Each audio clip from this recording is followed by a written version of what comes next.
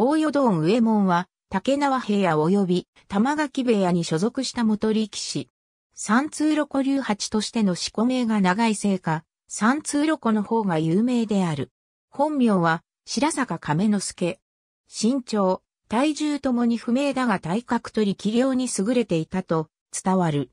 出身地は、現在の宮崎県東諸方郡。最高位は、西前頭五枚目。森岡藩の抱えであった。幼少の頃から力士を志し、数え18歳の頃から、郷里の泉屋に奉公して入門の気を伺った。1837年10月、20代の頃に初土俵。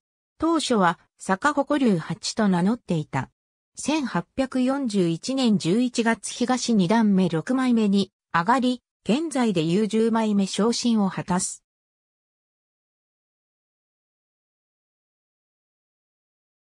1843年1月、この場所より三通路古流八を名乗り、5勝2敗1分の優勝時点の成績を残し、翌10月場所で新入幕を果たした。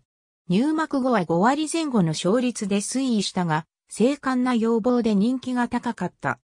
しかし、不詳で全盛期が短く、1847年3月場所に、郷里の大淀川にちなんで、大淀恩上門と改名するも、2敗8級と白星を挙げることができず、この場所限りで現役引退した。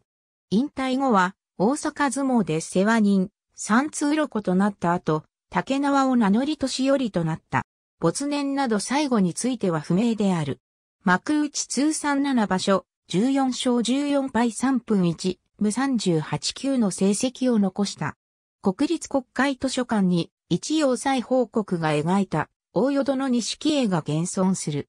大淀引退後、宮崎県出身の幕内力士は1967年1月に戸田智次郎が入幕するまで124年間出なかった。改名歴は3回ある、坂鉾流八立花流八三通路古流八、大淀音、上門戦術の通り、最後の大淀より最初の坂鉾や特に三つ目の三通路湖の方が有名である。ありがとうございます。